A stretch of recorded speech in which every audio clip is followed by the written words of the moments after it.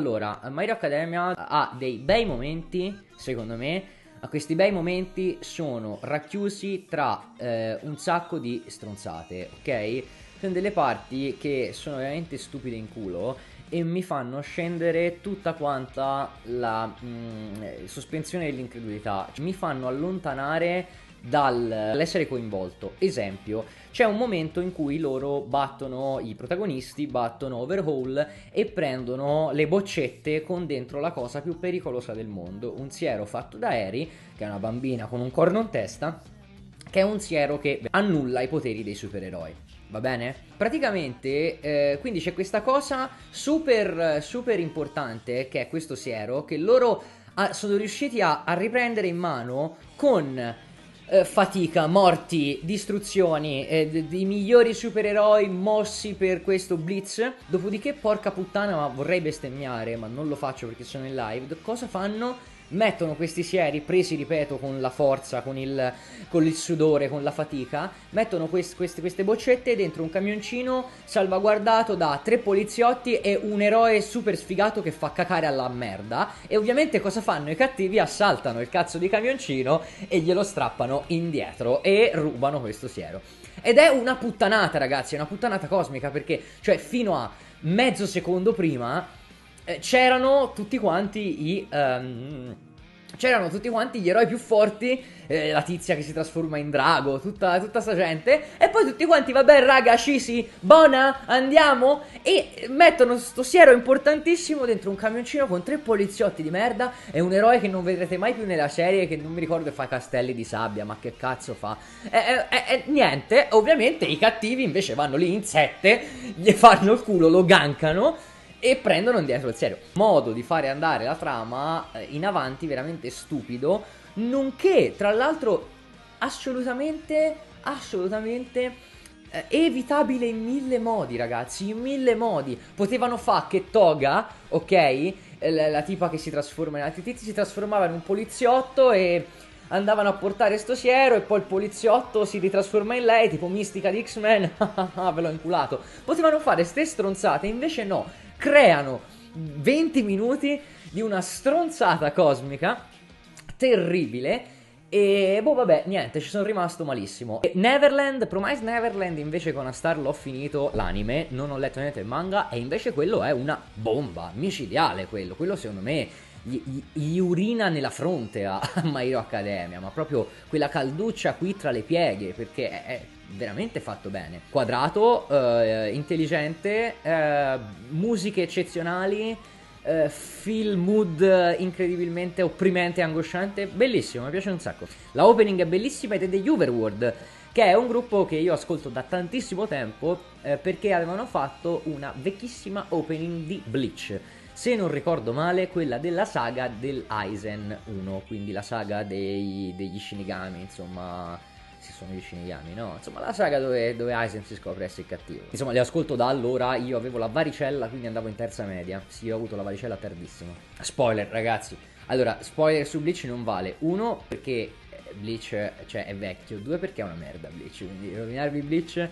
Anzi, lì era ancora bellino, ma poi finisce lì. Cioè, se non avessi aperto un eh, canale sui Pokémon l'avrei aperto sugli anime perché ho guardato veramente tanta roba. E niente vi dicevo che il buon uh, The Promised Neverland è veramente molto molto bello quindi ve lo consiglio un sacco. Ve lo consiglio davvero perché è una è una versione horror di Attack on Titan perché il mood è quello ma io non lo sto leggendo, lo sto solo guardando. Ho letto i primi 100 capitoli, credo di essere più avanti dell'anime, molto bello e interessante, ma dopo diventa estremamente ripetitivo. Peccato. Però tanti altri amici me ne hanno parlato molto bene. Cosa ne pensi di Steins Gate? Ragazzi, Steins Gate è bellissimo. Steins Gate è incredibile. Di che stiamo parlando, ragazzi? Steins Gate è una madonna. Steins Gate è un'opera stupenda che però ha un difetto. Inizia lento. E lo so che Uh, qualcuno dice, vabbè sì, ma devi avere pazienza. Io sono dell'idea che se un'opera è lenta è un difetto dell'opera, ok?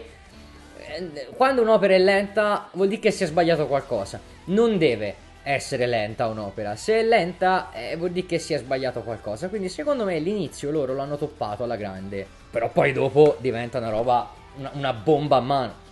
dopo diventa incredibile. Secondo me Steins Gate è fico, però, però ha un inizio veramente difficile da sopportare, però io l'ho visto e vi dico abbiate pazienza perché dopo i primi 5, 6, 7 episodi a un certo punto succede una roba e lì diventa fortissimo. D- Dottor Stone me l'hanno consigliato ma non l'ho visto invece in questi giorni sto guardando una vecchia cosa uscita nel 2012 Shinsekai Ori. Non mi fate spoiler, sono arrivato a metà serie, per ora fighissimo. Psycho Pass l'ho visto, così e così. Psycho Pass secondo me così e così. State, cosa ne pensi di Bakemonogatari e tutta la serie annessa? Non lo riesco a tollerare, ma mi annoia. Ho visto la prima serie, insomma, e non sono neanche riuscito a finirla. Mi fa scendere il latte ai coglioni. Non mi fanno impazzire i eh, momenti in cui Tizio flirta con Kaya. È una cosa che non mi interessa, ok, nelle storie. Ciuci amorosi non mi hanno mai appassionato più di tanto. E a Bakemonogatari è tutto quanto un tease sessuale tra i due. Parere su Hunter Hunter che è molto bello eh, se andassi avanti. Uno dei strategici shonen più belli che ci sono, che potete vedere, guardatevelo o leggetevelo. Io ho fatto entrambe le cose, molto bello, molto incostante. Ora, in generale, facendo un discorso un po' generico, così facciamo anche un po' di, di, di just chatting per l'appunto tra me e voi.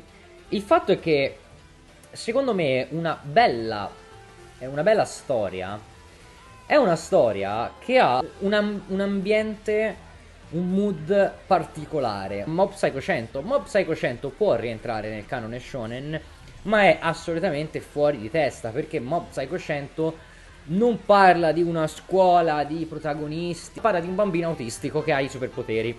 Bellissimo perché gira in, tutto intorno alle emozioni di Mob, a come Mob processa le emozioni del mondo e come poverino per queste sue turbe sociali e psicologiche non riesce a capire bene delle cose. È bello perché parte da una premessa, il fatto che questo ragazzino, questo bambino, vede sia gli spiriti che gli esseri umani. Ed è così potente che lui li vede allo stesso modo, sia gli spiriti che le persone umane eh, sullo stesso piano. Mentre comunque un esper, ovvero una persona che è in grado di collegarsi all'aldilà, deve concentrarsi comunque in qualche modo per entrare nella dimensione spirituale e vedere il fantasma sal cazzo, Mob invece è talmente forte che vive praticamente su entrambi i piani in contemporanea. Lui non riesce bene a processare una serie di cose, cose come un normale essere umano, perché lui vede spiriti umani sullo stesso piano. C'è un momento in cui una ragazza viene ehm, praticamente spiata ok? Lei pensa che sia uno spirito, non è uno spirito, ma è un guardone. Quando si rende conto che è un maniaco sessuale, diventa incazzatissima. E Mob rimane fottutamente spiazzato. Per lui, il fatto che ti spii nel tuo intimo un,